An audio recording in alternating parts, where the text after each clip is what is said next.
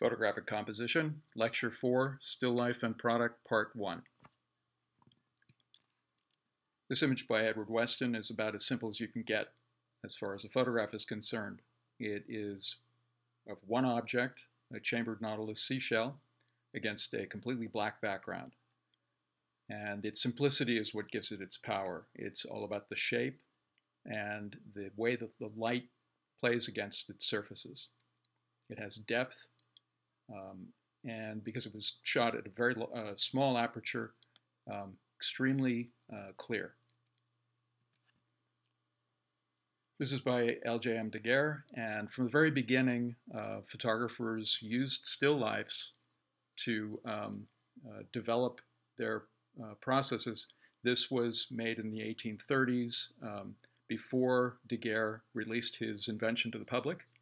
Um, the advantage in uh, photographing a still life is that nothing moves. If you have the camera stationary, all the objects are stationary, everything will stay nice and clear. This was essential because the emulsions that um, Daguerre and other um, early photographers um, used were um, extremely slow, uh, not very light sensitive at all.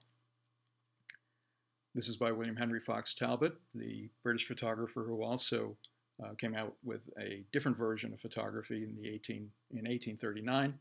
Um, he too um, used still lives, uh, mostly made around his family estate, Lacock Abbey. Um, this is from a uh, series that he made um, and released right after the um, he released his invention, um, called the Pencil of Nature. This is by Karl Blossfeldt, a German photographer um, who concentrated primarily on uh, plant life and animal life shown in great detail. Um, throughout his career, he stuck to a very simple strategy, photographing objects generally against a contrasting background, in this case a white background, with um, particular attention paid to the light playing against the surfaces. And as a result, in this case, the, the object um, really pops and is very clear against that white background. This is by Edward Steichen, made in the um, early 20th century.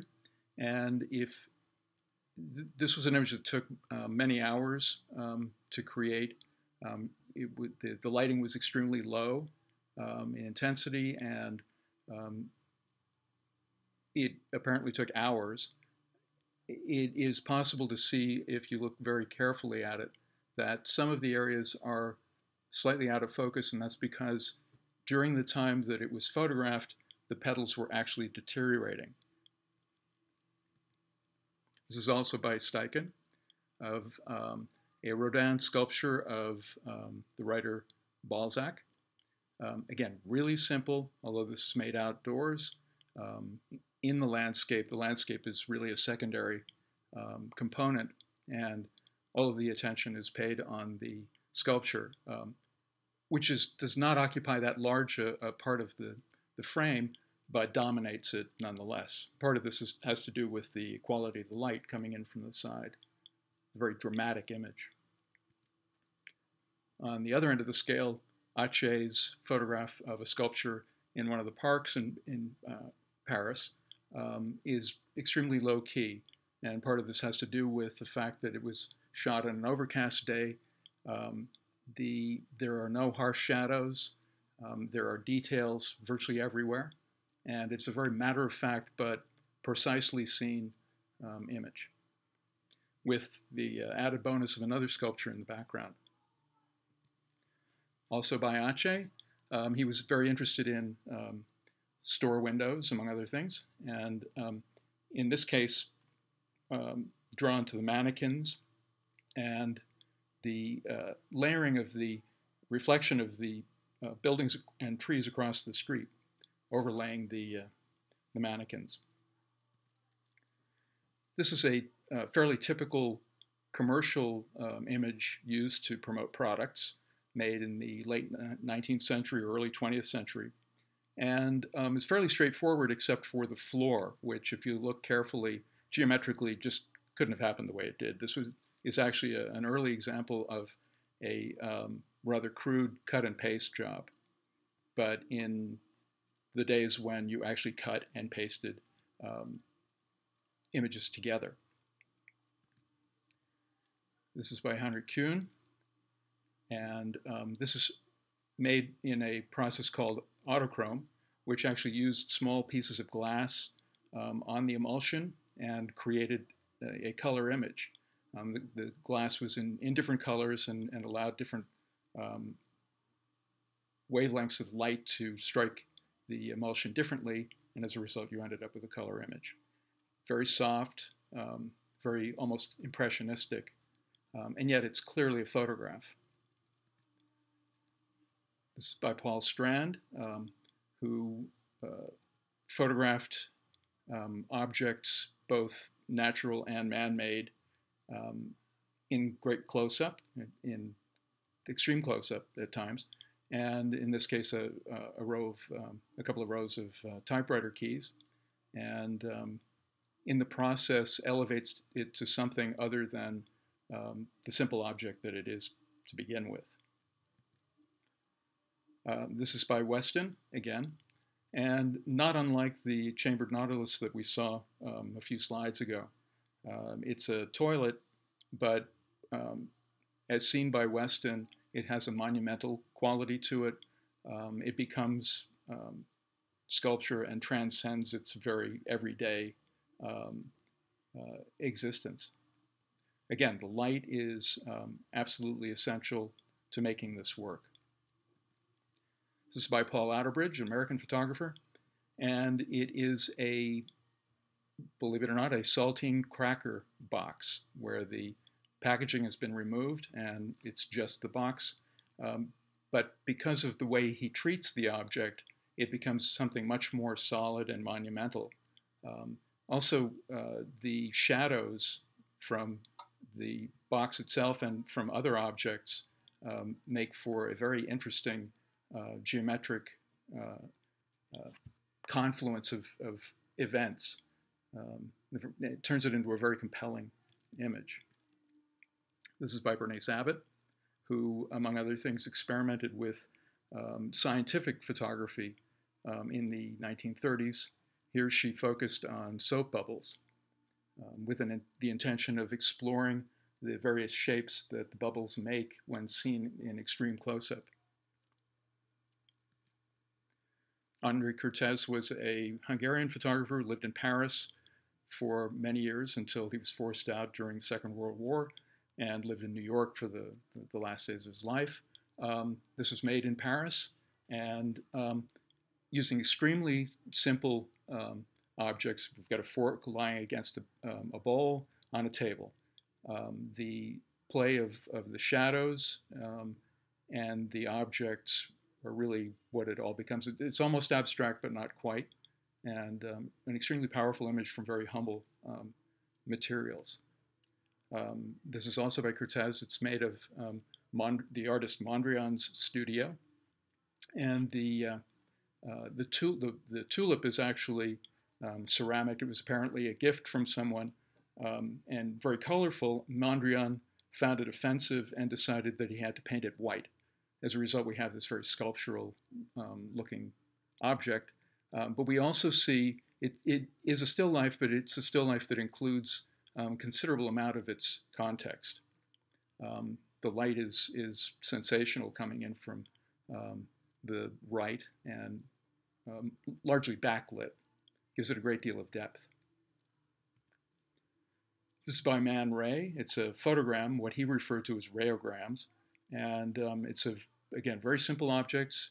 It's a gyroscope, and um, it looks like maybe a, a, part of a watch. And um, a, a pair of hands, more than likely his. Um, photograms are made by um, placing objects on photosensitive paper, um, exposing the, uh, the paper to light uh, briefly, and then processing it um, as a regular print. And as a result, we end up with these silhouettes like this. Walker Evans was um, best known for his architecture um, but he also moved in closer at times, as he did with this um, image of a small town um, photo studio, which not only tells us it's a studio by the text, but also gives us a sense of the character of the place by showing all of these um, uh, tiny prints of, of people who lived in the area. Evans in the 40s also became the uh, photo editor of Fortune magazine, and as such was able to um, create his own assignments. One of them was on um, everyday tools, such as this wrench. Um, used a very simple strategy to um, light it. It's supported by um, a post underneath it. You can see a little bit of its shadow. Uh, but as a result, it, it is primar- pretty much a, uh, um, an object floating against a, uh, um, a background. This is by Imogen Cunningham, who was a California photographer from San Francisco. And um, she was um, also drawn to uh, flowers and plants um, and other objects and, and shooting them in extreme close-up. Um, as with all of these photographers, the quality of the light and how um, she could man manipulate it um, was of paramount importance. This is also by Cunningham um, of a uh, domestic scene. Um, the sculpture next to the fireplace is Brancusi's Bird in uh, Flight. And um, uh, interesting that she chose to draw in also the, uh, the tree um, from outside. And we have this wonderful light coming in through windows. This um, basically product shot by um, Horst, um, although it's not really um, a still life because there's a, a, a live model, um, she's really treated more as a mannequin. And what becomes essential to this image is the quality of the light. Certainly her gesture is part of it, um, but also the straps for the, uh, um, the girdle um, and the way they are draped over the counter in the foreground. This is by Herbert List.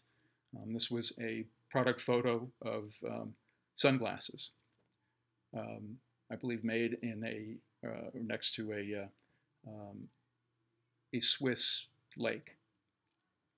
Very simple, straightforward. Um, it's about place, it's also about the objects. Werner Mantz was a uh, photographer and instructor at the Bauhaus in Germany in the 20s and 30s.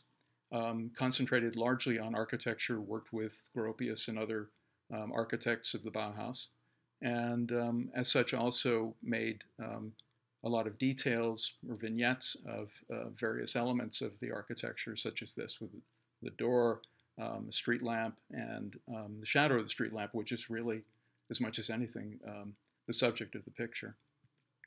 This is by Margaret Bourke-White, and um, of apparently turbines. And um, it, this is really about the, uh, these sensual shapes um, and the way the light plays on them. Very powerful image. This is by Harold Edgerton. Edgerton was, among other things, the inventor of the strobe.